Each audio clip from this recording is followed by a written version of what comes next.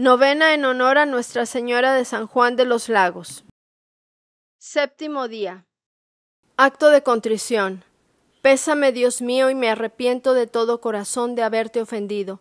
Pésame por el infierno que merecí y por el cielo que perdí. Pero mucho más me pesa porque pecando ofendí a un Dios tan bueno y tan grande como vos. Antes quisiera haber muerto que haberos ofendido. Propongo firmemente no pecar más y evitar todas las ocasiones próximas de pecar. Amén. Oración.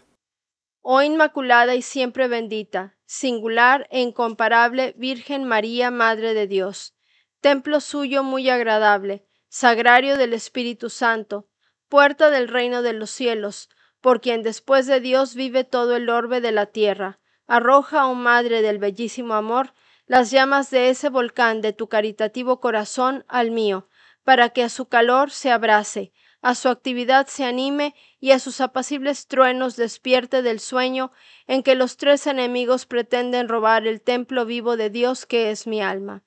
Ay, Señora, no lo permitas. Mira que en ella está el tesoro de la purísima sangre de tu amado Hijo Jesús.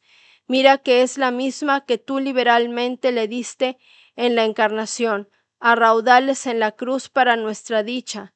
Acuérdate, Señora, que entonces con indecibles dolores aceptaste ser madre de los hombres, y estos, en cabeza del purísimo apóstol San Juan, son hijos y esclavos tuyos, obligados desde aquella hora a amarte y a servirte, cuya obligación, Señora, desde esta hora la revalido con todo mi corazón, y si para este fin conduce lo que te pido en esta novena, alcánzamelo de su majestad, a mayor honra y gloria suya y provecho de mi alma. Amén.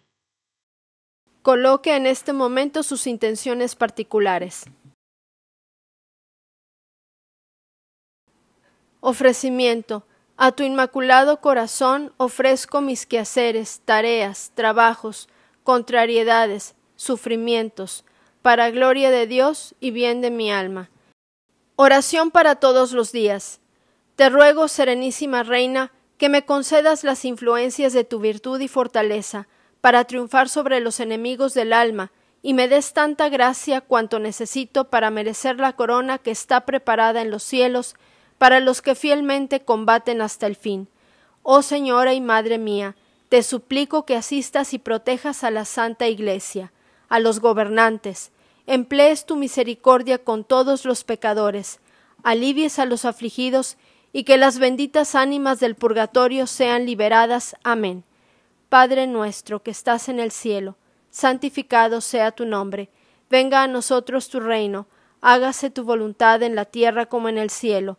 Danos hoy nuestro pan de cada día, perdona nuestras ofensas, como también nosotros perdonamos a los que nos ofenden. No nos dejes caer en la tentación y líbranos del mal. Amén. Dios te salve María, llena eres de gracia, el Señor es contigo. Bendita tú eres entre todas las mujeres, y bendito es el fruto de tu vientre Jesús. Santa María, Madre de Dios, ruega por nosotros pecadores, ahora y en la hora de nuestra muerte. Amén. Gloria al Padre y al Hijo y al Espíritu Santo, como era en un principio, ahora y siempre, por los siglos de los siglos. Amén. Oh María, sin pecado concebida, rogad por nosotros que recurrimos a vos. Amén. Meditación del día. Ejemplo de un milagro. Hace muchos años llegó al pueblo de San Juan de los Lagos un hombre y una mujer que vivían juntos sin estar casados conforme a la ley de Dios en santo matrimonio. Sucedió que un día el hombre, realizando su trabajo, una mula le dio una cos en la boca del estómago, dejándolo medio muerto.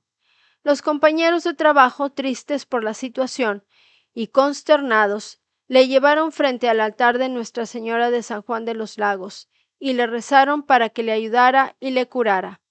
En un instante el hombre se levanta dando gritos diciendo que me llevan los diablos, viendo cómo su alma estaba a punto de ser llevada al infierno.